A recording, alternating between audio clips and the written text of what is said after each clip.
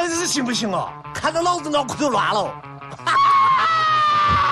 敲寡妇门，刨绝户坟，偷鸡摸狗，惹是生非。凡是能想到的坏事，他全干过，把一个民风淳朴的小镇折腾的是狼哭鬼叫，鸡飞狗跳。今儿跟大伙聊一部国产的故事片《杀生》。故事发生在四十年代初，我国西南地区一个群山环抱的村子。由于这里的老百姓寿命长，在清朝时期就被皇帝赐名为长寿镇。祖爷爷已经将近一百二十岁高龄了。为了打破长寿镇的记录，镇长蛮横地拦住了想要驾鹤西游的祖爷爷前往西方极乐世界的去路，非要老爷子撑到一百二十岁不可，完全不顾及祖爷爷生不如死的感受。牛结石是长寿镇出了名的泼皮无赖滚刀肉，村民们人见人怕，可又拿他没什么办法。而且这家伙的命比钛合金还硬，村民们曾联手把牛结石装进麻袋扔到了山下。可这家伙非但没死，而且身上连一点伤都没有。最近听说长寿镇出了一种怪病，而且还死了人。卫生院的院长派手下的任医生前往长寿镇查看情况。任医生顺着山路前往长寿镇，在山上他遇到了奄奄一息的牛结石。为了查出其中的原因，任医生把牛结石背回了长寿镇。牛结石很快就挂掉了。任医生查了半天也没能查出死因。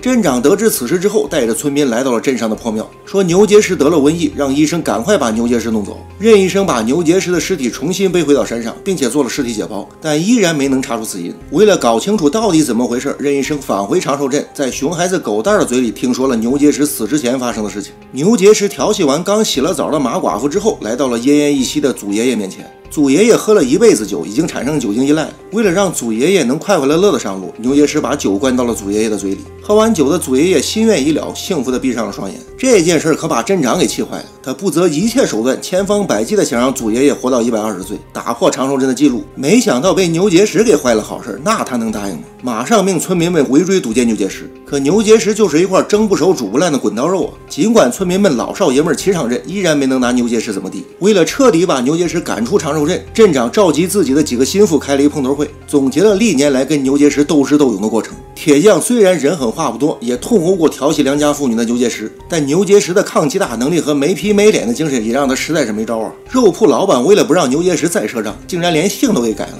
可道高一尺，魔高一丈，牛结石的做法把肉铺老板逼得差点精神崩溃了。大侄子，我改姓了。哦，跟了他妈姓了，倒插本以后赊账的事啊，我就做不到主了。不加速打死喽！说。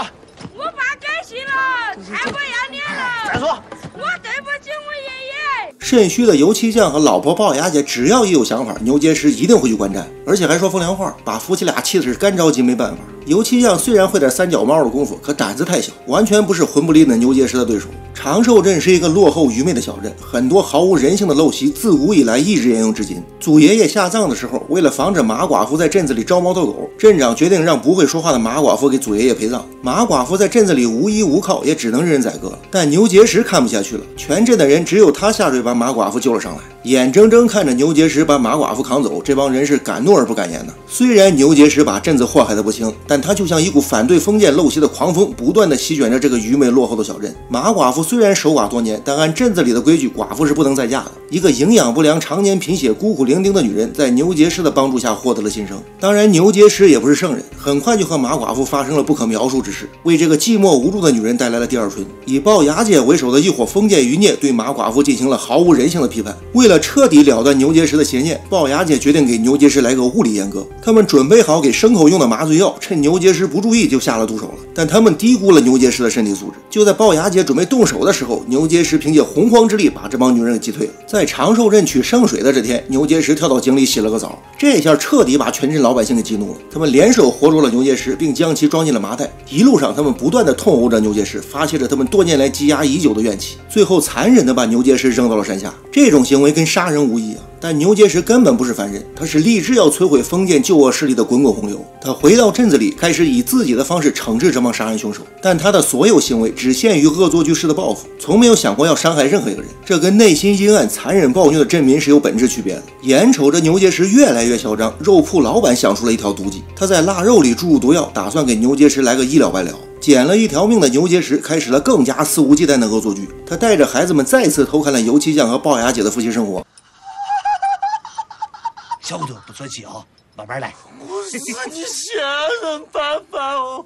然后又把给牲口用的催情粉倒进了镇子里的饮用水中，一夜之间，整个镇子淳朴的民风化为乌有，受害者一个个掩面而泣，恨自己禽兽不如。镇长和镇上的元老经过商议，把在外地工作的牛医生请了回来。他们请牛医生回来的目的，无非是希望牛医生把牛结石给干掉。但杀人毕竟是犯法的。如何能杀了牛结石而又不吃官司，是摆在全镇老百姓面前的一道难题。牛医生毕竟是知识分子，肚子里的坏主意就是多。他联合所有的镇民，决定给牛结石来一个钝刀子杀人。具体的操作方法就是每一个见到牛结石的人都要表现出牛结石要死的样子。臭娃子，你这个脸色咋个突然变得这么黄哦？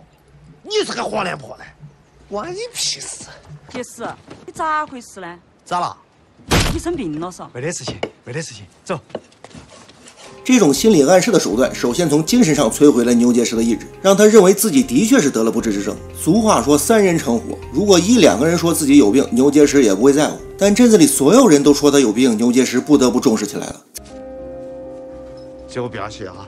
在经过肉铺的时候，肉铺老板把那块注射了毒药的腊肉递给了牛结石，但牛结石命大呀，自己选了一块腊肉，算是暂时躲过了一劫。那么牛医生为什么帮助镇民们杀牛结石呢？这事儿还得从他小时候说起。当年他和牛结石都是十几岁的小孩，那时候的牛结石经常到牛医生家里偷东西。为了防止牛结石再来偷东西，牛医生把墙上的大窟窿小眼睛全给堵上了。这一堵可不得了，由于二氧化碳排不出去，他爷爷奶奶全都窒息而死。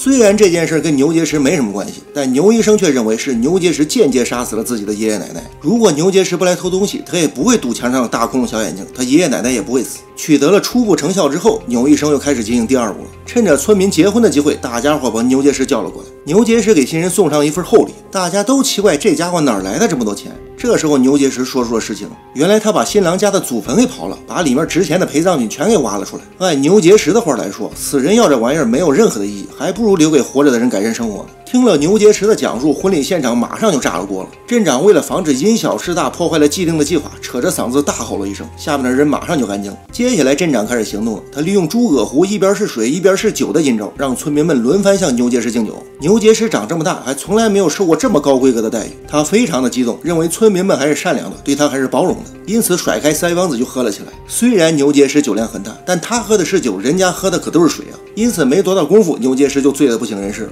整个镇子只有肉铺老板的儿子狗蛋儿跟牛结石说了。实话，但此时的牛结石已经产生了。严重的心理阴影，根本没把狗蛋儿话当回事儿。狗蛋儿也因为瞎说实话，被他老爸锁在了家里。本来肉铺老板想送给牛医生一块腊肉犒劳犒劳这个主谋，但牛医生偏偏选了那块掺有毒药的，这可能就是老话说的苍天有眼，恶有恶报。马寡妇怀孕了，是牛结石的孩子。这件事很快就在镇子里传开了。马寡妇虽然不会说话，但她心里比谁都清楚，这个镇子里的人是不会放过牛结石的。接下来，牛医生又开始了第三步的计划。他知道牛结石爱凑热闹，于是便让一些青壮的小伙子故意在牛结石家门口进行接春雨的仪式。初春寒意逼人呢，光着膀子的牛结石在雨中张牙舞爪后，不久便病倒了。一帮人围在牛结石的病榻前，净说些不吉利的话。牛医生利用自己的仪器给牛结石拍了张片子，谎称牛结石得了癌症，已经时日无多了。牛结石再无赖泼皮，再滚刀肉魂不裂，也架不住全镇子的人暗害他。任医生虽然通过调查发现了牛医生的阴谋，但没有真凭实据，他也是无可奈何呀。他找到了已经逃离长寿镇的马寡妇，此时牛结石的孩子已经好几个月大了。马寡妇给任医生写下了牛结石被害的过程。任医生找到镇长，此时的镇长由于在接春雨的时候受了风寒，已经九十九岁的他终于病倒了，眼瞅着就要咽气儿了。他说出了加害牛结石的过程，愿意一人做事一人当，不要牵连其他的镇民。原来马寡妇早就看出来镇民的阴谋了，尤其是一直觊觎他美色的铁匠，他担心铁匠会加害牛结石，因此希望牛结石赶快离开镇子。但牛结石牵挂自己的孩子，一直不肯走。牛医生在得知镇民们想保住牛结石的孩子之后，大发雷霆了！他认为斩草一定要除根，不然等孩子长大，镇子里的人有一个算一个，谁都跑不了。但镇长却认为冤有头债有主，收拾牛结石可以，但孩子是无辜的。当牛结石得知镇民要加害自己的儿子，当时就不干了，拎着大砍刀开始到处的打砸。在这个过程中，他无意中找到了自己的片子，发现自己根本就没有得什么癌症。马寡妇心里非常的清楚，她肚子里的孩子和牛结石只能保一个。为了保住牛结石，马寡妇决定喝下堕胎的药，但是被牛结石及时制止了。